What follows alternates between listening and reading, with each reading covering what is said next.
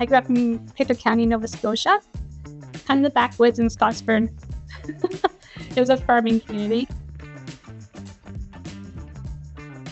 So I think it came from very young. Um, on the farm, I like to go check out animals that had passed away. I was very always interested in medicine, and I always really wanted to help people a lot. Very boring. I love dressing changes. They're just they're very satisfying when you clean up a wound and you're able to dress it and it looks so pretty and clean and ready to go. if you shoot bigger, you're a lot smarter than you think. I really didn't think I was. it wasn't advice, but I had a patient who actually requested me to be their nurse on the last day of their life.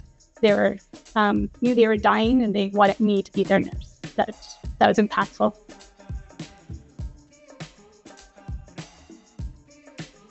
So this would be Star Trek, those nice lasers that they just scan everybody with. I'd love to have one of those.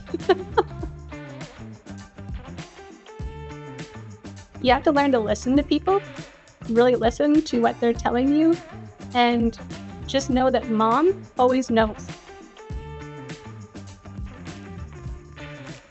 Like for me, it's people like Jesse Thistle, who wrote Out of the Ashes and uh, Gabor Mate. He was amazing. He changed my entire life at one point when I saw him in person. Tuna and cracker snack kit. very easy on the run. Adventurous, stressful, and optimistic. Find your schedule and stick to it. Don't let other people throw you off because as long as you have that, you can pretty much get through any part of your day. I mean, in the morning, I wake up, it's a shower, it's a quick tea, it's out the door. And at work, it's check the labs, check for follow ups from yesterday. Fair.